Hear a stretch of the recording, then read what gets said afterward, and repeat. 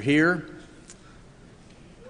And we extend a very special welcome to any of our guests, our visitors that we have with us today. Thank you especially for being here. I'm going to begin our worship period with a reading from Psalm 108. Psalm 108, beginning in verse 3. I will give thanks to you, O Lord, among the people, and I will sing praises to you among the nations. For your loving kindness is great above the heavens, and your truth reaches to the skies. Be exalted, O God, above the heavens, and your glory above all the earth.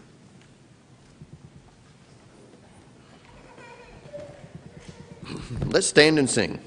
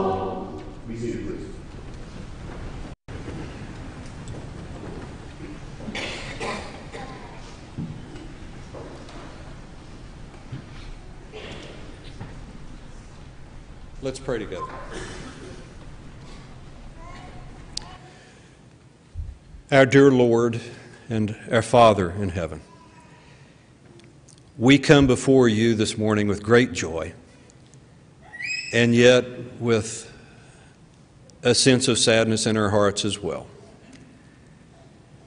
Father, we thank you for inviting us here. We thank you for being with us. And Father, we take great joy in the fact that we may gather in your name with those who also love you and speak to one another in psalms and hymns and spiritual songs, encouraging each other as we live for you. And Father, we thank you so much and take great joy in the fact that you love us so much that you sent Christ, your Son and our Savior, that we might have joy not only here, but joy everlasting. Father, we also are aware that Christ went to the cross because of our sin. And Father, we are sorrowful for that. And we ask your forgiveness for our sin. We ask your forgiveness for the necessity that you saw to provide your Son as our Savior. And Father, we ask your blessing that we may live as Christ would have us to live. Father, our sorrow is far overshadowed by the joy that we have because of you, because we know that in the fullness and the perfection of Christ's life and his sacrifice for us, that we look forward to eternal joy with you. Father, may we lift our voices this morning together and show that joy of the love that we have for you and the gratitude that we share. It is in the name of Christ that we pray. Amen.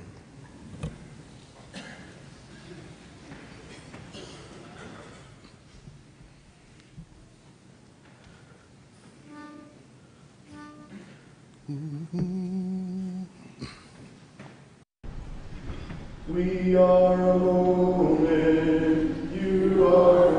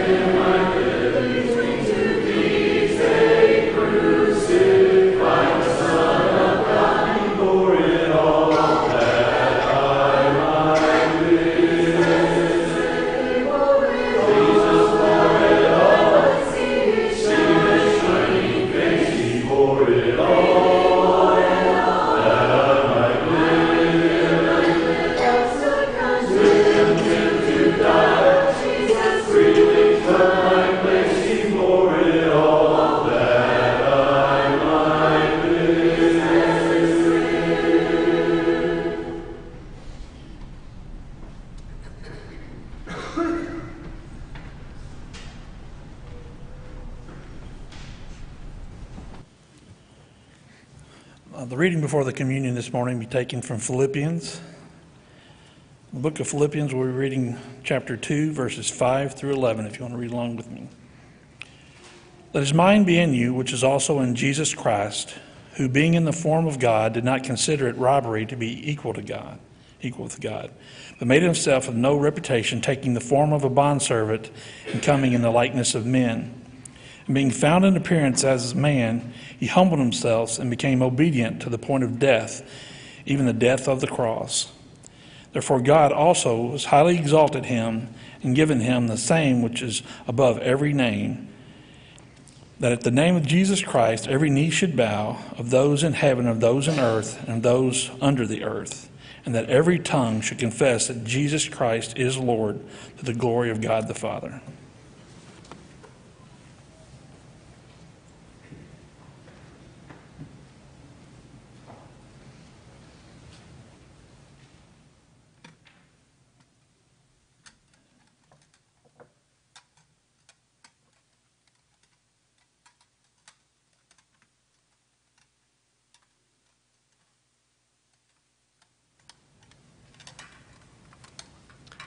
Would you pray with me?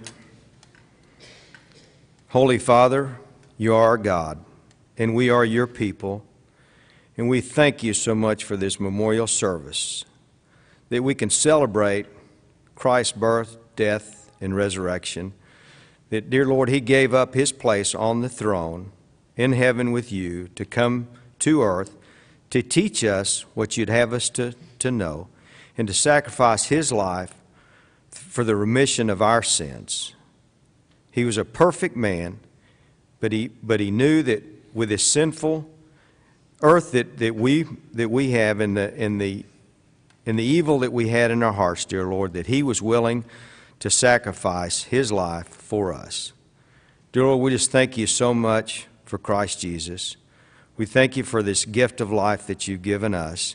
We thank you for the opportunity that we have through his through his service and through, our, through his teachings, that we have the, the hope of eternal life with you. Thank you so much for that gift. And dear Lord, as we take this bread that represents his body that was broken for us, help us remember that he did this and died for, for our sins, for the atonement of our sins. And it's in his holy and precious name we offer this prayer this morning. Amen.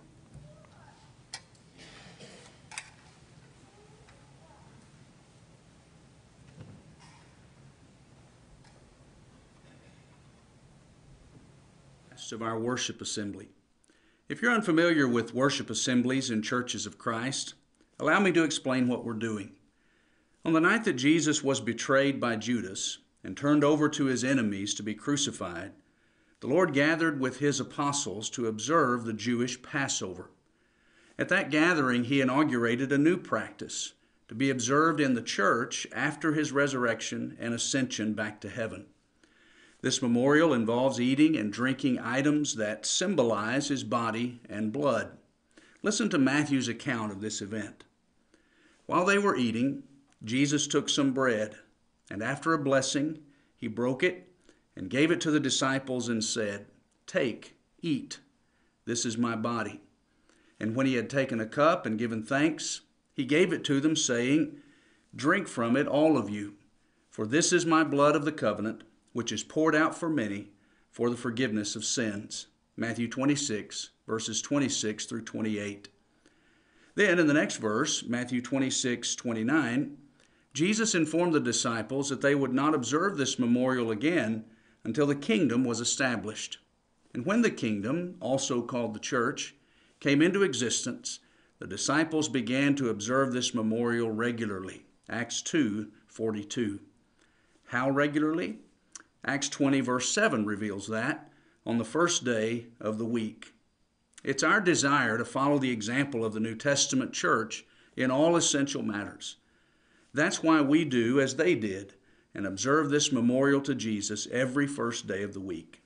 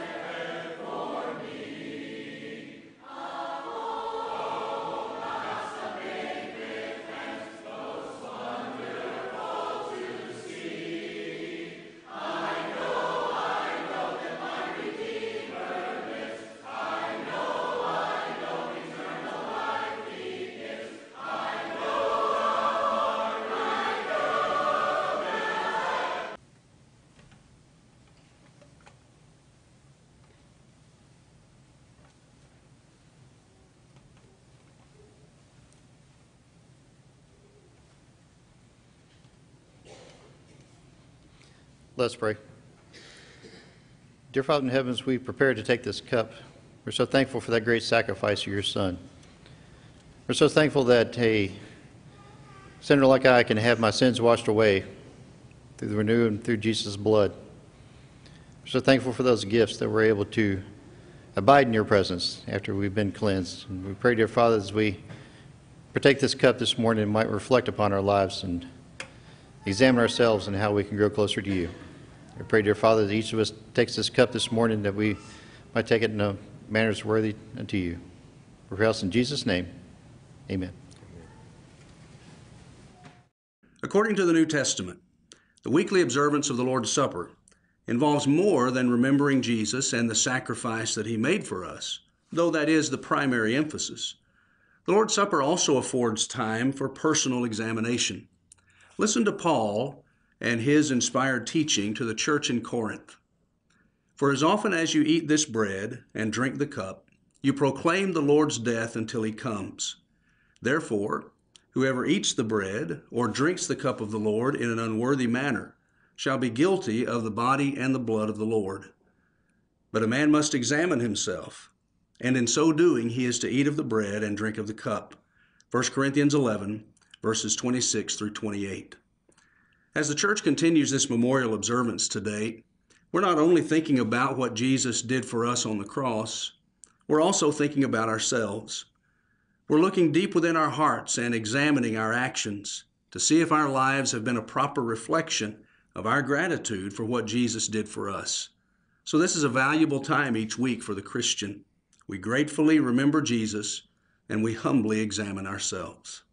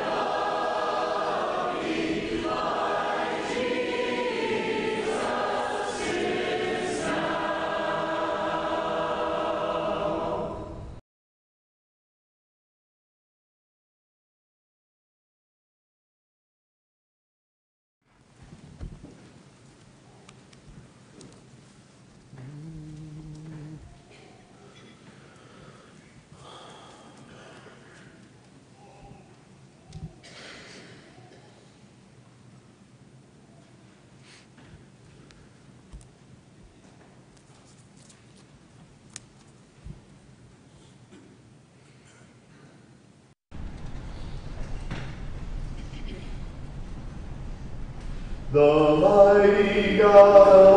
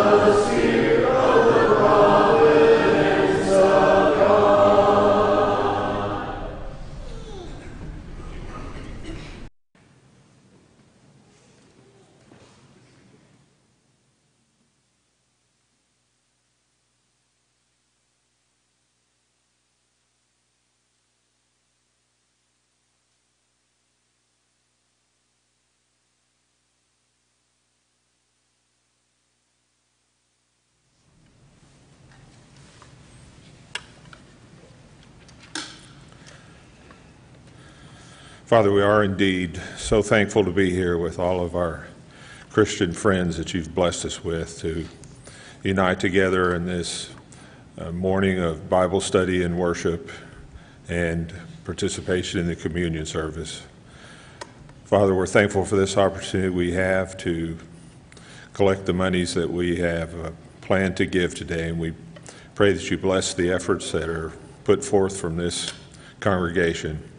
Pray for many more souls to hear, hear the word, to learn it, and to obey it, and to be able to live with, with you eternally. In Jesus' name we pray. Amen. The Apostle Paul gave the following instructions to the church in the city of Corinth. Now, concerning the collection for the saints, as I directed the churches of Galatia, so do you also. On the first day of every week, each one of you is to put aside and save as he may prosper, so that no collections be made when I come. 1 Corinthians 16, verses 1 and 2. For a congregation to carry out its necessary work, it must have operating funds. The passage we just read serves as our example for gathering Brown Trail's monetary resources. It's a simple free will offering. If you ever visit with us on a Sunday, we will collect an offering, but our guests are never obligated or pressured to give. The passing of collection trays is just an expedient way for us to fulfill God's desire that our members support the church's work.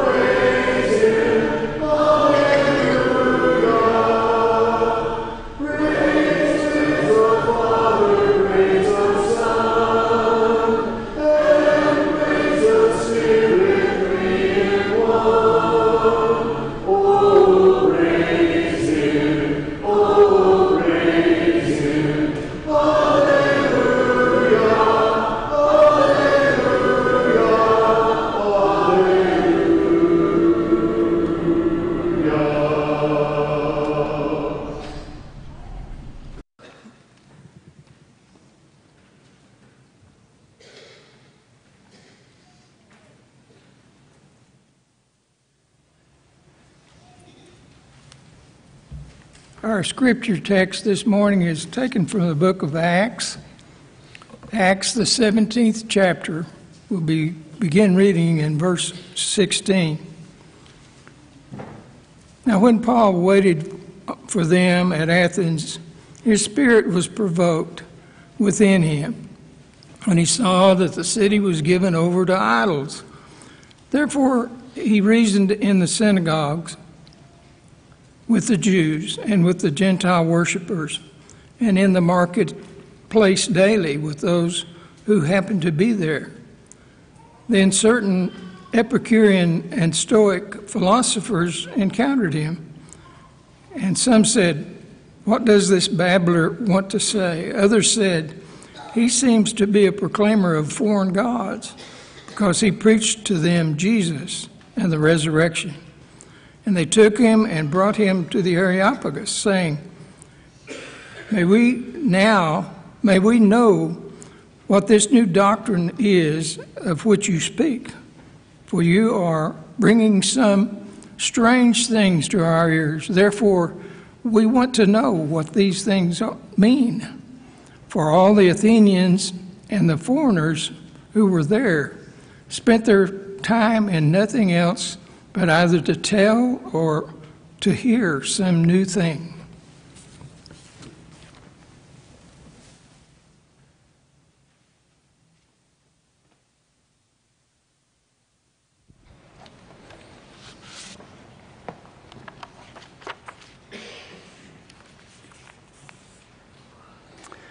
This morning, we're going to continue with some thoughts that we began last Sunday morning with regard to our skeptical world and our engaging that world in conversation about things eternal and things spiritual.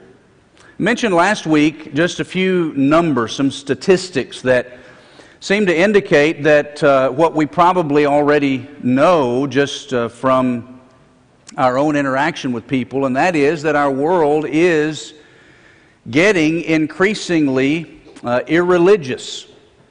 Uh, in the past 10 years, studies have shown that people in our country who identify themselves as having no religious affiliation at all have grown from 16% to 23%. And as one might expect, uh, given the fact that uh, over time, especially since the 60s, God has been systematically removed from our public consciousness in many ways. One would expect that those that are younger, those that have been growing up more in that environment than those of us that are old, like Harold, uh, grew up in. And that's true, the numbers bear that out. Millennials uh, who claim no religious affiliation, uh, that number's at 34%, whereas the numbers across the board, 23%. And so we're seeing more and more that our, our culture continues this shift away from God. So, with that increasingly skeptical world, how do we engage that world? How do we live in it and try to influence that world for God? Well, we're looking at Acts chapter 17 to get some answers to that. And we looked at it uh, last week with, uh, and, and I'll just very briefly go over the points that we made last week for those of you that might not have been here and for those rest of you who have slept since then. First thing we looked at was Paul's perceptions. In other words, when Paul came into Athens, what specifically did he see? And the first thing we noted was that Paul saw a city that was full of beauty and history. Gave just a few examples of what Athens might have looked like when the Apostle Paul came there. But it wasn't just a, a city of beauty and, and history, though it was that.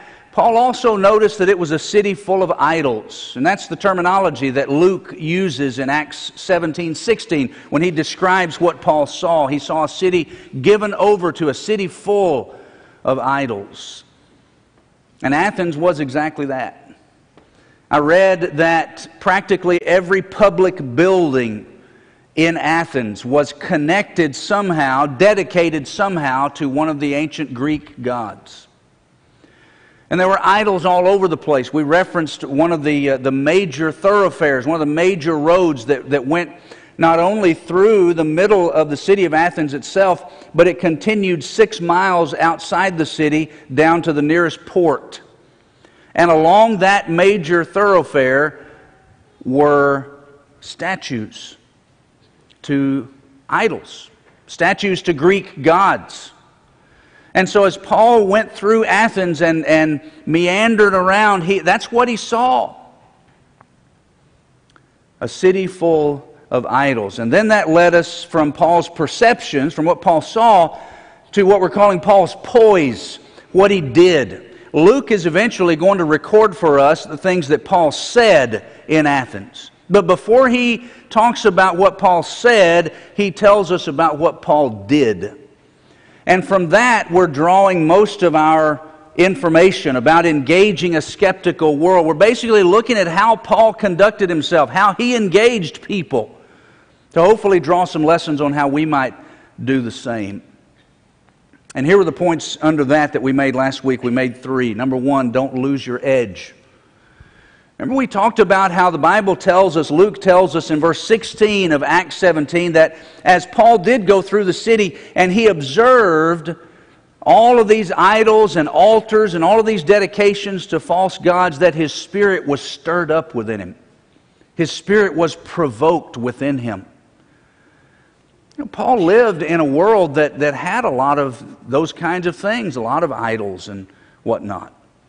But the fact that he lived among all of that did not soften his perspective on that. He didn't lose his edge, in other words. It still stirred him up to see that kind of false religion. And if we would engage our culture in, in, the, in a similar way, we've got to make sure that we don't get so accustomed to skepticism and so accustomed to an irreligious environment and so accustomed to, the, to all of these anti God influences that we just become used to it. And we lose our edge, and we're unable to, to ourselves be provoked and be stirred up because of that. Don't lose your edge. Number two, understand your adversary. Understand your adversary. We noted that there were a couple of words used that described how Paul observed and examined. He'll even say to, to the, the people in Athens, as I was examining the articles of your, the objects of your devotion.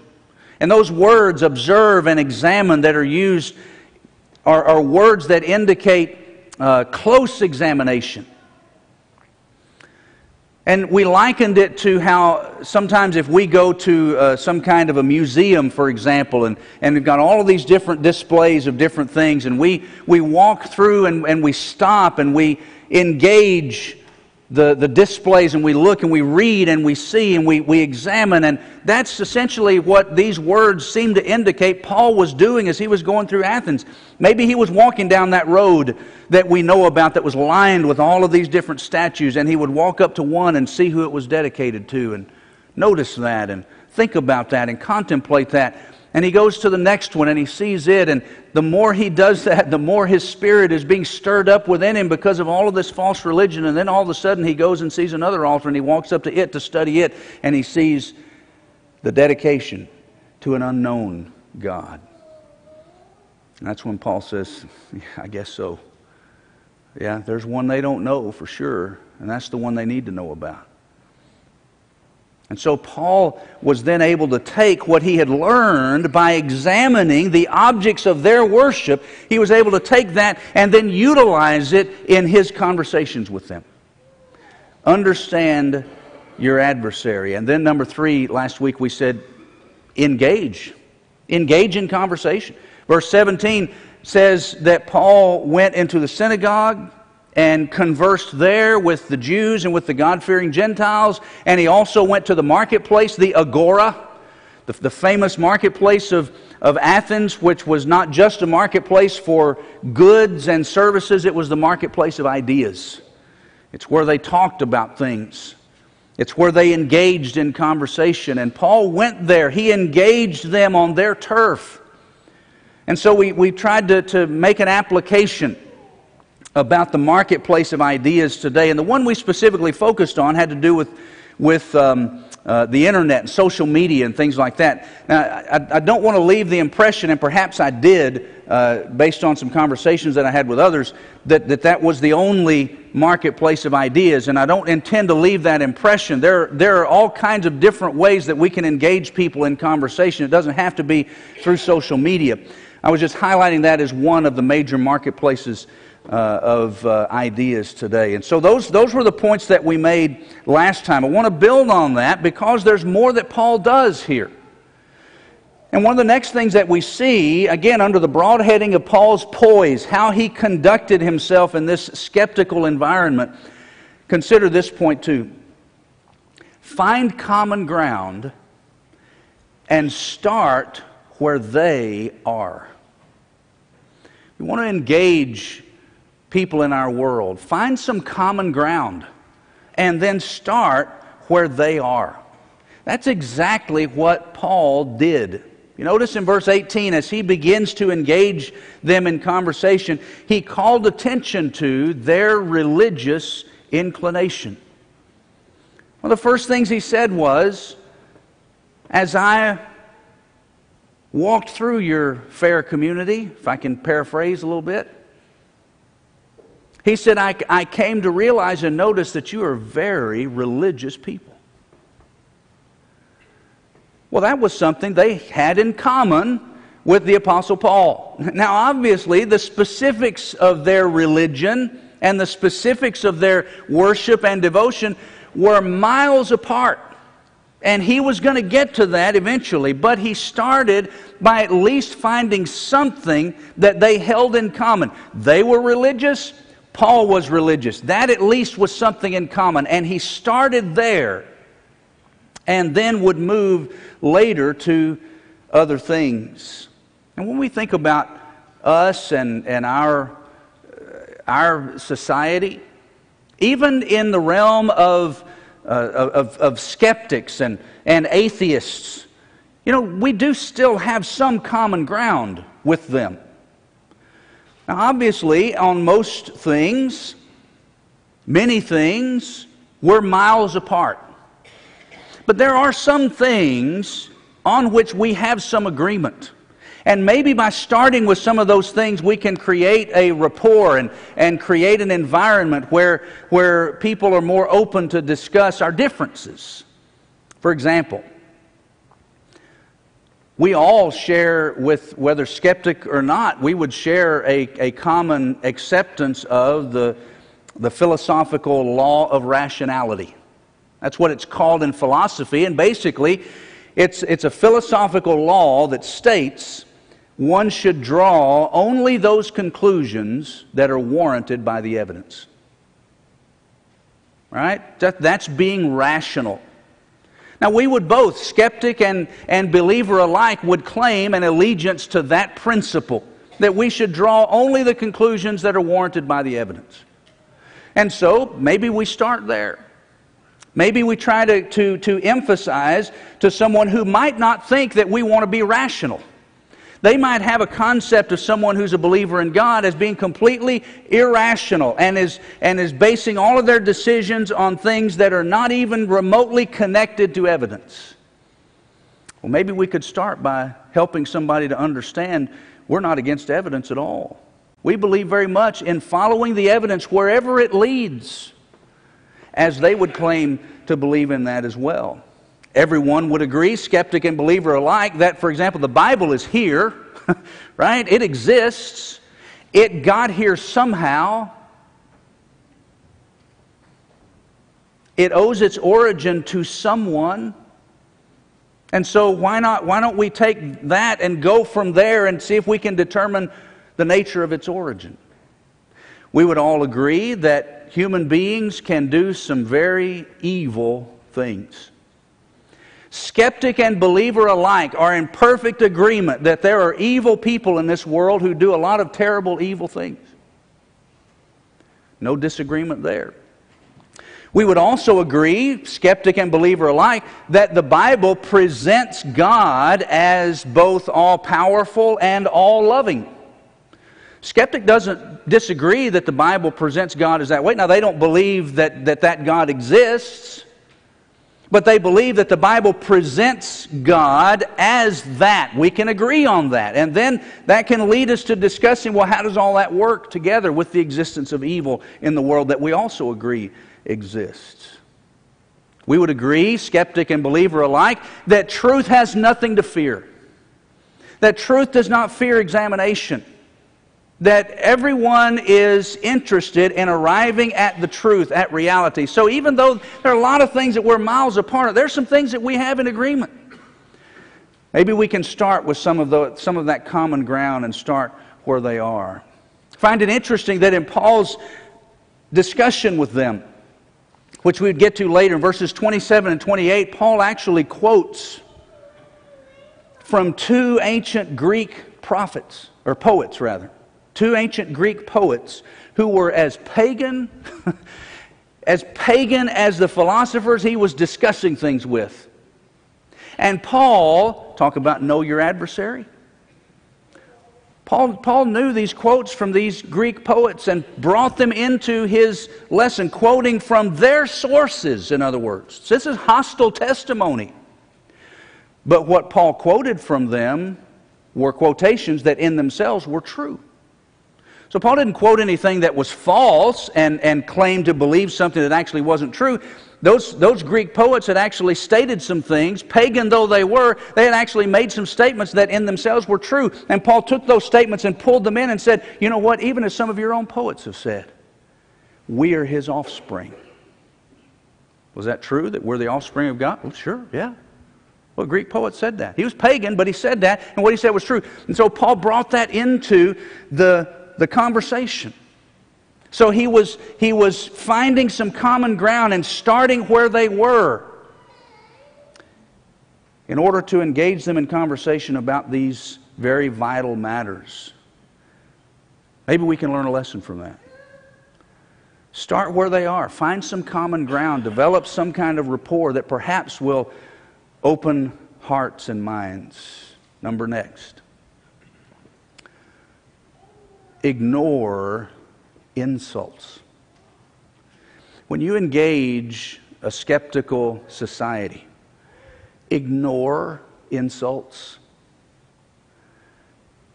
In verse 18, these people that Paul is going to converse with, they, they want to take him to the Areopagus. This was a, a, more, more of an official place than just the common marketplace where, where they talked about stuff. They, would they would take some people to this Areopagus there at Mars Hill, where, where official people, more prominent people, might be able to address these philosophers. Some of the ancient Greek philosophers spoke at the Areopagus, Socrates and others. So they bring Paul there, but they say, verse 18, let's see what this babbler has to say. Your translation may have a different word there but at its root, the word means seed gatherer. Seed gatherer. And it was used in, in more you know, mundane scenarios of, of like maybe a bird that, that, that hops around and just picks up seeds here and there. And from that, it grew into a, a, um, a, a derisive term the people would use this term to refer to somebody who essentially, in harmony with the word's etymology, had, had essentially gone around and just gathered up a few scraps of knowledge. Idle, babbler, see, it was a slang term really for an ignoramus. Somebody who had picked up just a few little seeds of knowledge, but then spoke as if he knew a whole lot more than he actually does. In other words, this was not a flattering term. They essentially said, Let, us listen to this ignoramus and see what he has to say. Well, Paul was far from an ignoramus. just from a purely secular perspective. He was trained at the feet of Gamaliel. Acts 22, verse 3. One of the most respected Jewish scholars, not just of his day, but of all time. And, as if that were not enough, Paul's also speaking by inspiration of the Holy Spirit. That kind of puts him up there, right? So he was about as far from an ignoramus as a person could be, and yet, you think Paul could have pinned their ears back verbally? I suspect he could have. Did he? There's not even an indication in the text that he even acknowledged what they said, much less tried to respond in kind. Let your speech be always with grace, seasoned with salt, so that we may know how we ought to answer each one. Colossians 4, verse 6. Servant of the Lord must not be quarrelsome, but gentle to all. 2 Timothy 2, verse 24. They insulted Paul, he ignored it. We may find ourselves in situations where a skeptical world will hurl all kinds of insults at us just because we're Christians. Ignore the insults. And in addition to that, and more importantly than that, certainly don't instigate the insults. Let your speech be always with grace. And then, number next, six, I think, if you're keeping score at home. Transition to points of difference. Transition to points of difference. Remember, we talked about starting where they are. Start with some common ground. If you can find some, start with that. Start where they are. But eventually, you're going to have to trans- transition into points of difference. Paul did not just continually and repeatedly emphasized their common ground. He did eventually move to their fundamental differences of belief. And our conversations need to go that way too, eventually. So in verses 23 and 24, we see where Paul does make that transition. And he puts it out there very plainly. He essentially said, Look, there's, there's one God. And he's not like all of these images that you've crafted with your own hands. He transitioned to their points of differences. And that leads us then into Paul's preaching. We looked at Paul's perceptions right? Here's what he saw Paul's poise. Here's how he acted. Now let's get into Paul's preaching. Here's what he said. His main points were these God is creator. This is on verse 24. God is creator, He is Lord, and He is not confined to man made temples. Verse 25, He is self existent. He is responsible for everything that we see and everything that we are. Verse 26, 27. Also, verse 27 He created every person and nation that dwells on the earth, determines their rising and their falling. He is near, not far from any one of us. He's created us to seek Him, He's created us to find Him. He is our Father. And he is not like handcrafted idols. All of that in 27, 28, and 29. And then he concludes by saying, God is also our judge.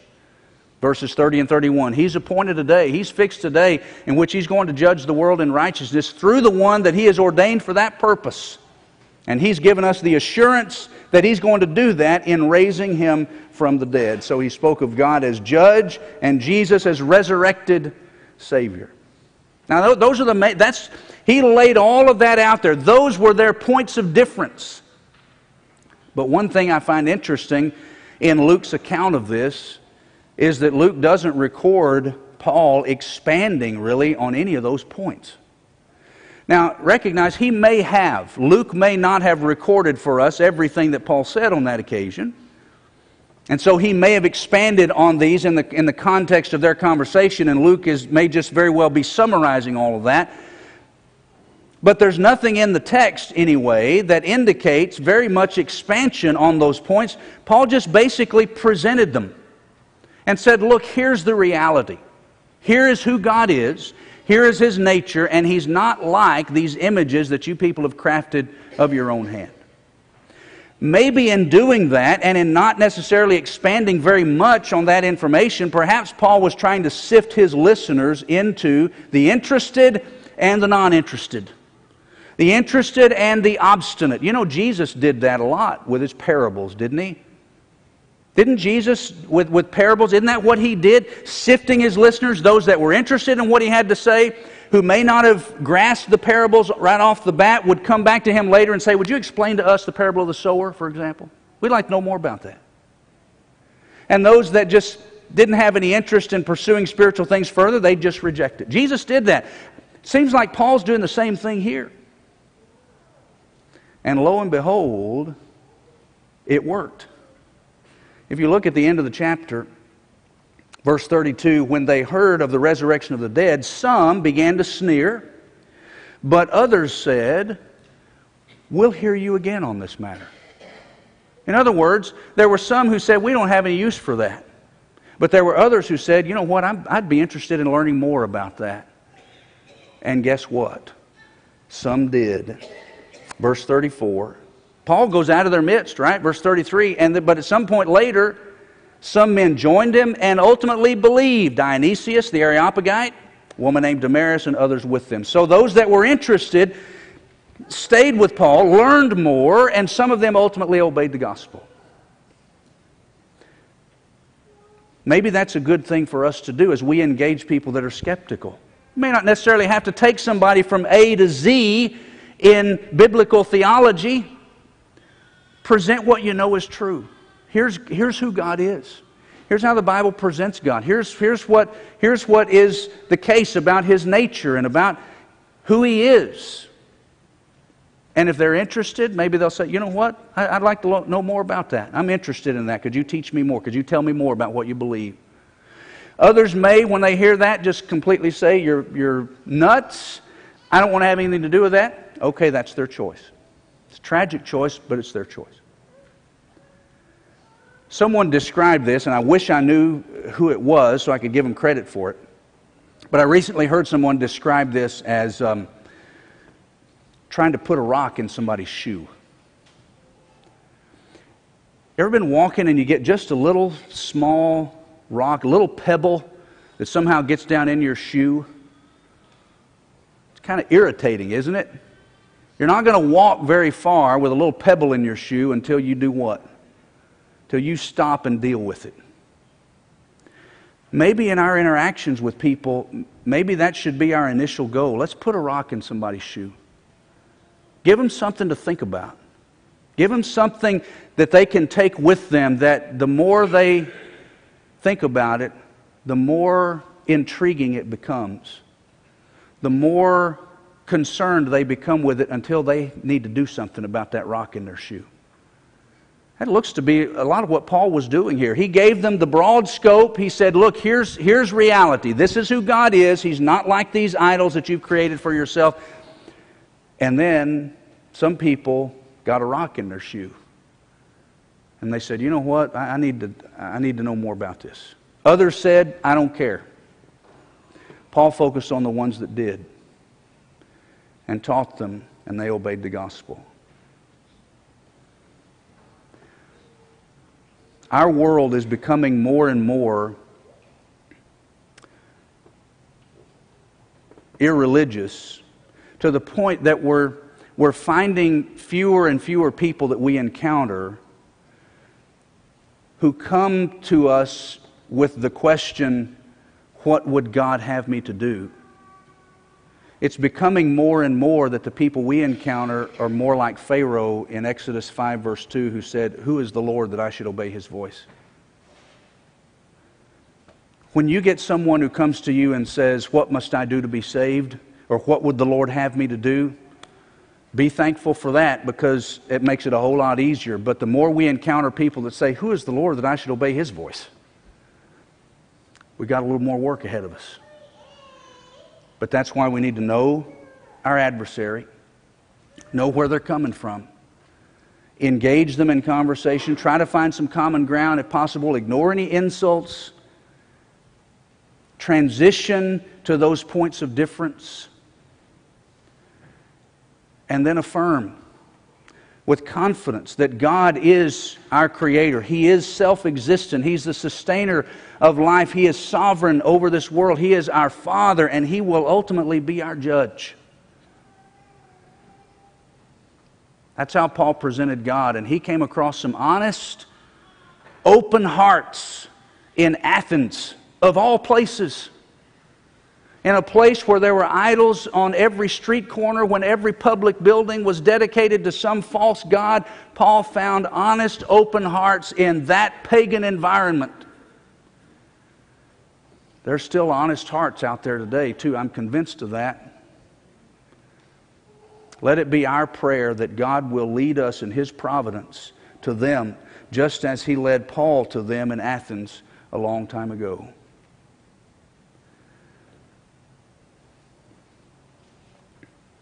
Paul said in Philippians chapter 1, with regard to Christians, he said, You, you shine as lights in the world. Let's do that. Let's not lose our edge. Let's allow our hearts to be stirred up to the task before us and do what we can. Put a rock in somebody's shoe that may lead them to seek more information, to seek God. And let's pray that God can use us according to His will and to His glory, in whatever way He chooses, to help people come to know Him, as did Dionysius, Damaris, and those others in Acts 17 34. Pray with me. Gracious Father, we thank you for this passage of Scripture in Acts 17 that offers us so much information about how to engage a skeptical world. And we pray that these lessons we'll take with us. We'll try to utilize them as best we can as we engage people uh, in conversation about you and about the future and about eternity and judgment. We pray, Father, that you would, in your providence, guide us, direct us to open minds and open hearts. That you would use us to your glory to be lights to others, that they may see you and that they may desire to know your will and do your will. And we pray, Father, that each of us would have that same desire to continue to do your will, to learn it better, to draw more closely to you each day. In Jesus' name, amen. There may be someone in the assembly today who needs to respond to the invitation of God that is always open. It may be that you are not a Christian yet, and you understand and recognize who God is, and you understand and know who Jesus is and what Jesus has done for you, and you're ready to commit your life to Him, to turn from your sins, to be united with Him in baptism, to have your sins washed away. If you're ready to do that today, we're going to invite you in just a moment to respond and come do that. We'll help you. If you'd like to know more, you're not quite ready to make that decision, but maybe you've got a little pebble in your shoe and there's something that you need to address and you want to know more and you want to have those, those things, um, you want to study them and have them opened up to you from the Word of God so that you can better understand and know. Let us know that if that's your desire today. I know we have many children of God in the assembly today, already Christians, but maybe you haven't been as engaged as you need to be with others. Maybe your light is not shining as brightly as you know it should. I would encourage you today to pray God for pardon and mercy, for allowing your light to go out, and pray for His strength and His help, that you would relight that fire and be the light that you should be. If we may pray with you today, we invite you to come as well as we stand and sing together.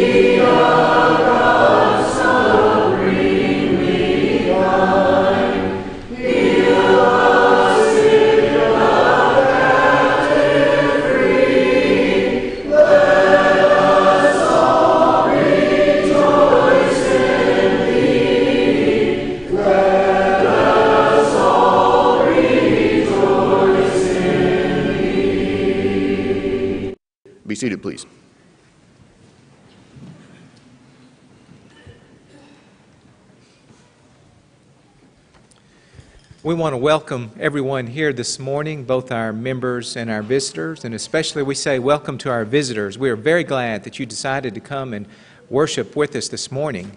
And uh, we would ri- like to remind everyone to fill out an attendance card you'll find on the backs of the pews in front of you. Pass them through the aisles, and they'll be picked up shortly. And while you're doing so, I want to remind our members to notice any visitors that might be in your area and be sure to welcome them warmly after our services are concluded. Also, I would remind you to be sure to pick up an announcement sheet that you'll find at each of the exits, as they will contain more information than we'll mention at this time. Um, first order of business. Um, as some of you might know, the York family has recently decided to join the Brown, Brown Trail family here, and so, as I understand it, we have not yet had the opportunity to embarrass them, so we'd like to take care of that right now. So, uh, Brandon and Lindsay, if you would just stand for a moment, and family, so we can find you. There we go. And kids, Timothy, uh, Charlotte, and Caroline. So, this is to help us put a face with a name. And so, now that you're thoroughly embarrassed, you may be seated. Uh, so, be sure to find them after our services are over and, and welcome them. Um, we do have a number of uh, families to whom we would like to express our sympathy um, at this moment. To uh, Ben Goodrum and Scott and Vic, Vicki Hagler on uh, the death of our uh, dear sister uh, Winnie uh, who passed away September 3rd, and the funeral was this past Friday. Also to Gwen Woodard and family on the death of her son, Walter W. Woodard, who passed away September 6th, and the funeral arrangements are pending at this time. And then to J.J. and Lisa Hendricks and family on the death of J.J.'s father, Jim Hendricks, who passed away September 5th. Uh, the funeral is this afternoon in Arkansas. Uh, in addition, there are a number of other families that uh, we need to remember to keep in our prayers. Um, Matthew Fleeman, uh, son of Dan and Sandra Fleeman, uh, remains in Medical City Hospital in Plano. He will begin chemo on Monday. Matt is too sick for calls or visits uh, right now, but please uh, continue to pray for him and the Fleeman family. And Doris Powell will have gallbladder surgery on Thursday at Baylor Grapevine. And then Jim and Shirley Wilcox's daughter in law, Chris, whose uh, surgery went very well. Her doctors don't think that the cancer has uh, spread to her lymph nodes. So we want to continue to keep all of these families in our prayers. And then we have a couple of items in the news. Uh, congratulations uh, to Jacob and Katie Selby, who were married last night. And then both the Wednesday morning and Wednesday evening ladies' Bible classes will resume this week, so you can see the printed bulletin for additional details. And then finally, don't forget the parents' meeting with John Warnes this evening following our worship assembly to discuss the youth calendar. And everyone is encouraged to bring your own uh, brown bag.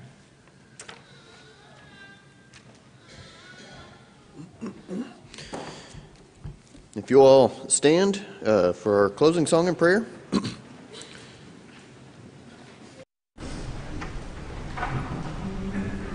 Wonderful grace of Jesus,